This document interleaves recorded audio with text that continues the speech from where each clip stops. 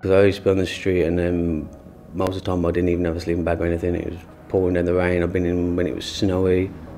I mean, when it was snowing, I like, uh, I literally had to stay warm on a park bench. Like they're choosing people whom to give no accommodation because they see how you live there, room you clean.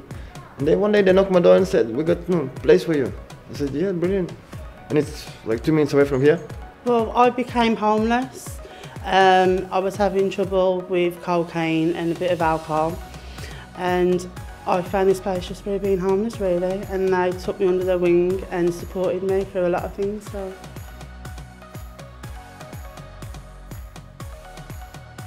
Kind of when you sort of feel like a, when you see uh, a food uh, kitchen or people handing out food, you kind of expect it to be sort of homeless people with, with certain issues or um, there's certain stigmas that kind of come with what sort of people you'd think would use a, a food kitchen, but it, it's not. It was it was families there, like with young kids, um, people from all walks of life. Um, they, they they didn't look homeless. They just didn't have enough money for food, and I think seeing that really was an eye opener for me, and really really sort of made me think how big this issue is. And I, I know people weren't just coming here for because it was a meal and they just it, it was a, a, free meal. It was they actually needed it, and um, I think that's what touched me at the time, and, and that's what made me sort of uh, want to be more involved in the, the, the Good Shepherd. I think we touch all parts of the community really because I mean we've got some people that will come to us once a month when they're struggling with um, people who are working families who are, struggling to kind of stay afloat and, and pay bills. They'll come to us once a month for food and some basic advice all the way to people who are entrenched rough sleepers who've slept rough for 15 20 plus years. Um, so I think the Good Shepherd we kind of serve and we work with people from all aspects of, of life in, in the city at times you were, were kind of only a few steps away from, from being in a, a real rough position and I think everyone needs help in some sort of way. I had help um, making it in my career if it weren't for certain people at certain times then I wouldn't have got where I was as well so everyone kind of needs that helping hand and if I can be a part of that in, in, in multiple ways then I'd, I'd love to help out, yeah. It's terribly important to, to take the person as they are, as a human being with their dignity.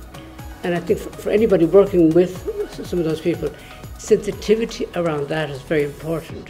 One of the things we have to do, and I think we do it, uh, one is constantly trying to do that in our daily work with the people who use our services, and that is talking about their dignity and about uh, them able to see and try to enable them to see their themselves as a dignified human being. Sometimes they'll say, "Well, they, we got all this wrong." I say, yeah, "That's part of the human person."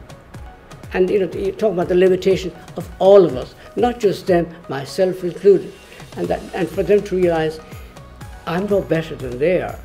I've been in fortunate, fortunate circumstances where I haven't fallen into something or other, but the very same thing would happen. People can and they do change.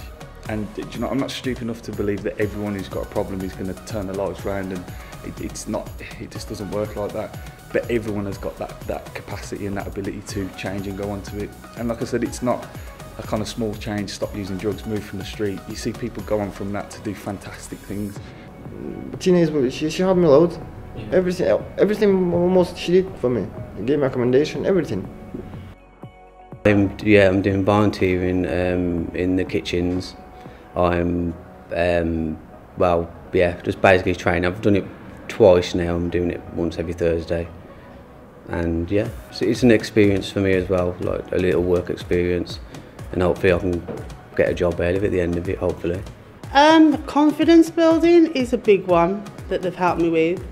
Um, also just finding myself again and building myself back up, getting over a cocaine issue and alcohol just rebuilding myself, getting myself a flat and starting university. they feeding me, they give me a place where to sleep. It's like, you can say second family. They've treated me like family and without the Good Shepherd now I'll probably still the same old drunk on the street, nowhere to go and homeless. That, that's what I would have been without the Good Shepherd. In the future, um, well, nobody really knows what's going to go on in the future. You can plan for it, but you don't know whether it's actually going to get you there or not. But I'm hopeful that I'm going to get to where I want to be, and I'm really happy with how things are going at the moment. Yeah.